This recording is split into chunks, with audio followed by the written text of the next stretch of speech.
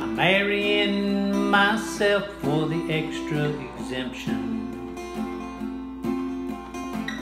One day I'll be the wife, the other I'll be the husband. I'm marrying myself for the exemption. I'm sure that the IRS will understand. I'm gonna get every benefit that I can.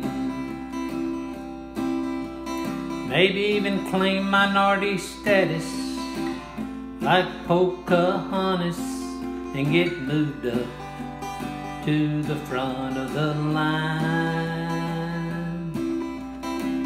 Or say that I am a person of color and cry racism when I'm criticized every time.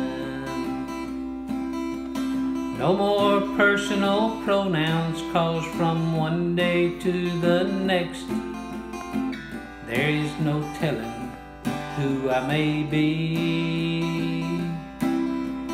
Truth is no longer relevant since I've been told by Oprah.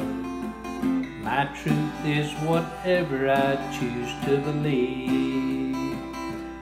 So I'm marrying myself for the extra exemption. One day I'll be the wife, the other the husband. I'm marrying myself for the exemption. I'm sure that the IRS will understand. I'm gonna get every benefit that I can.